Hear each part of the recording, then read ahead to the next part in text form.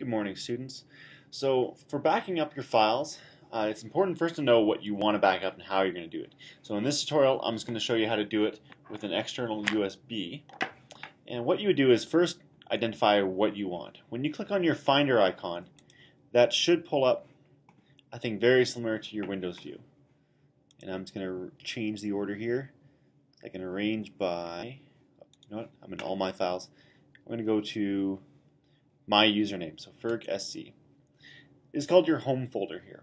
And here you can see all of your primary things that you might want to back up. So for me, I saved some things to my desktop, and I'm going to hold down Command so I can click the other ones, and Documents, Movies, Music, and Pictures.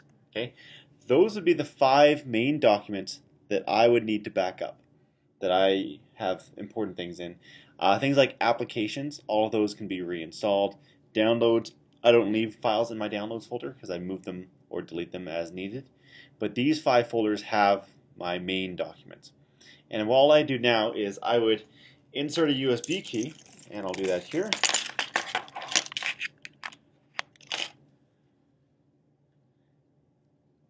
And that's going to pop up over here in devices, right? So I now have my USB key with the little eject symbol. And to back them up, all I need to do is just drag and drop it into the Ferg. Now if I wanted to, if I want to keep it organized, I can open up that folder as well and then make a new folder. And I could call this March 2013 backup. And that's a good idea just that you know when your backup was taken and how old it is in case you add new files and you want to update it later.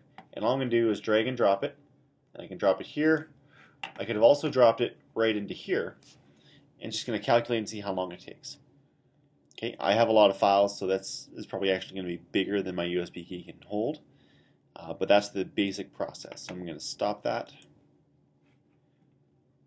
Okay, when it is finished, you'll be able to eject your USB key by clicking on eject or dragging it to the trash. And as you can see, because it's still thinking about transferring them, it won't let me. I'll give it a second here. Try again. Okay. Alright, so basically, that's the main idea. As soon as it disappears from here, I can pull up my USB key, and now I have a backup that is safe and secure.